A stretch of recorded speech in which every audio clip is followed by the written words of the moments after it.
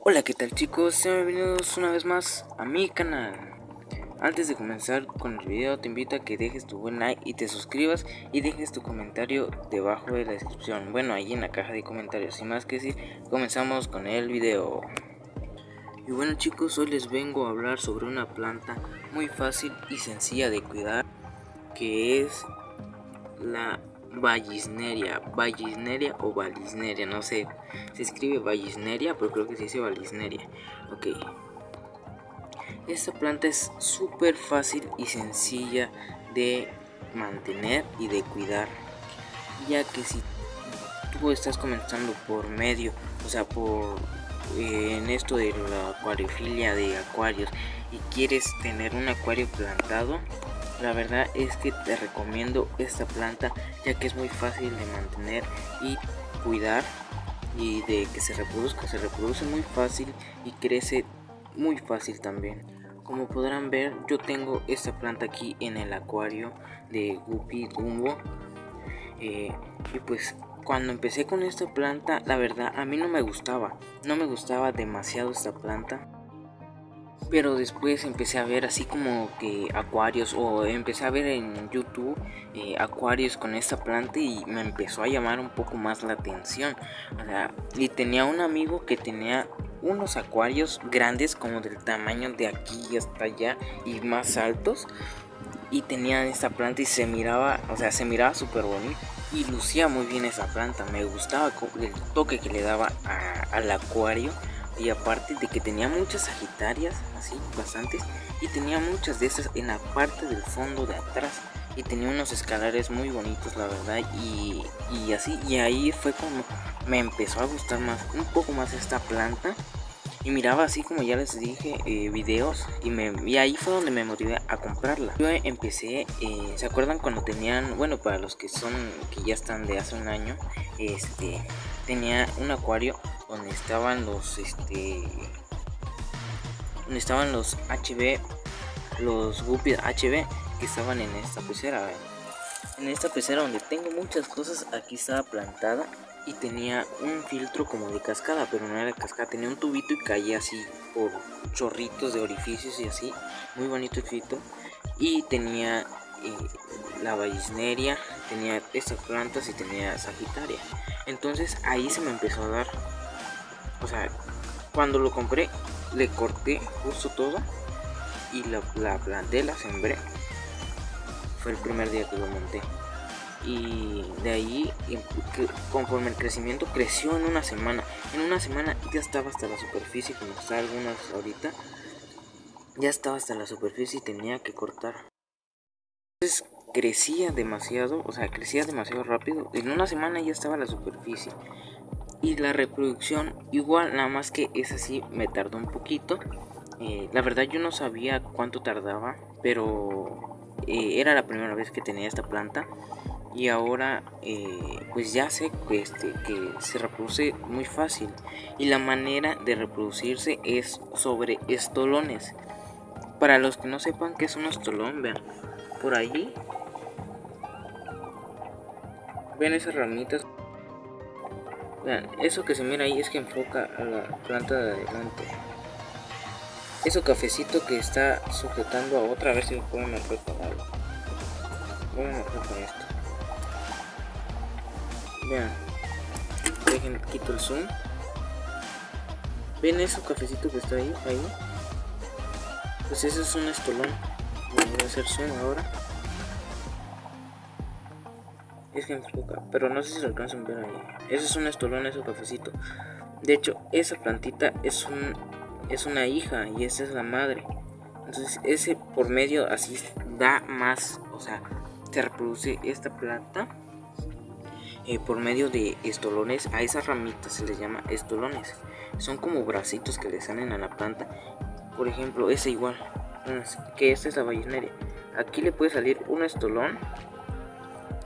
Y que sale por medio debajo del sustrato. Y de repente va saliendo la planta. O sea, pónganse, aquí da un estolón sobre abajo del sustrato. en lo que se va formando la planta y sale la planta. Luego esta puede dar más otro estolón igual de abajo y así y sucesivamente se va reproduciendo. Puede, no sé, darlo lateral de este lado, del otro, de aquel y así. De hecho, la ya se estaba recorriendo hacia de qué lado. Sea, ahí había solo una que era de todas esas. Había uno aquí y uno más por acá adelante. Entonces, como yo solo quiero que esté en la parte de allá atrás y solo esa parte, entonces lo tuve que retirar y volver a plantar aquí. Es lo que ustedes pueden hacer.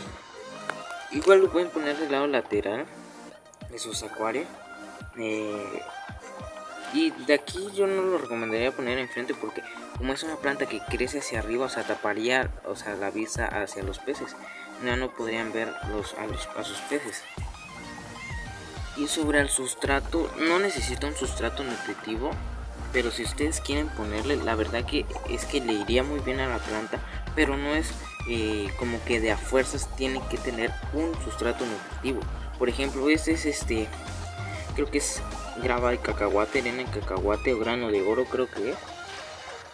Creo que es grano de oro. Eh, y tiene grava volcánica. Este, sí, creo que así, no, tesontle negro, tesontle.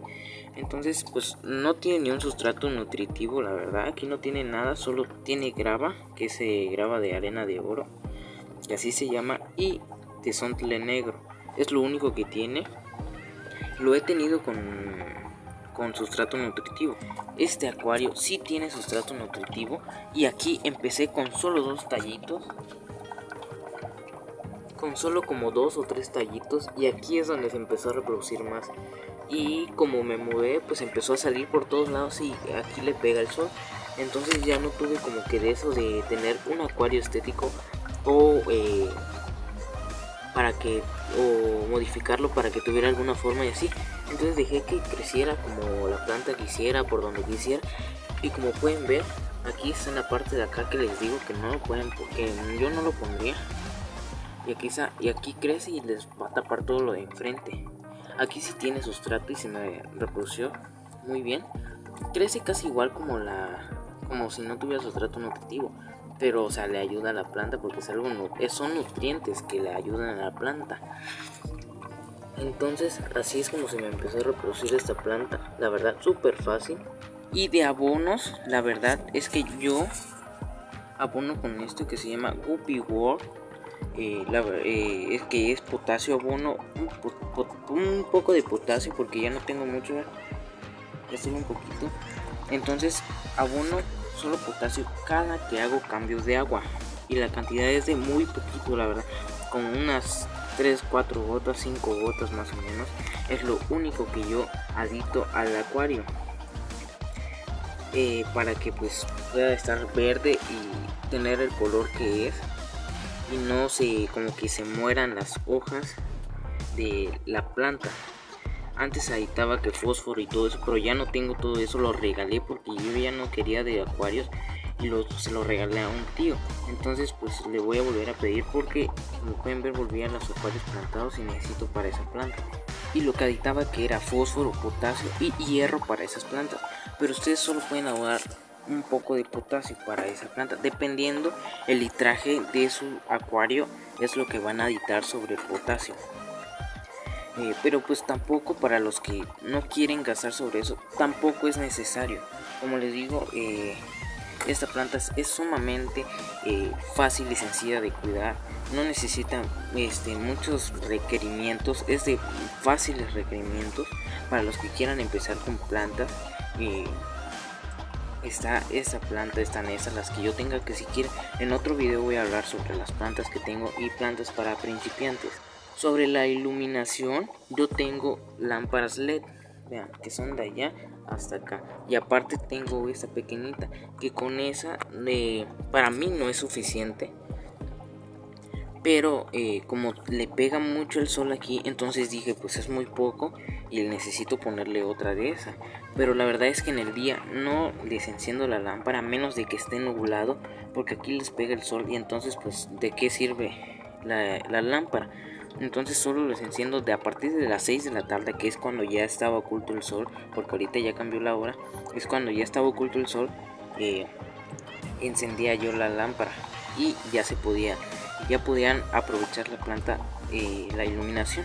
Ahorita como ya está mayormente nublado casi todo el día porque por las fechas o el mes entonces ya los prendo a veces a las 2 de la tarde y hasta que anochece y a veces hasta las 11 o 12 de la noche los dejo prendido. Pero ustedes pueden darle de 8 a 9 horas encendidas con la luz o sus lámparas la verdad que les recomiendo estas lámparas, son sumamente sencillas y pues fáciles para esa planta que lo aprovechen muy bien y pues bueno chicos, hasta aquí eh, ha terminado el video. Espero les haya gustado mucho este video, que les ayude a los que quieren empezar con plantas. La verdad les recomiendo mucho esa planta, es muy fácil como ya les dije y les he repetido mucho.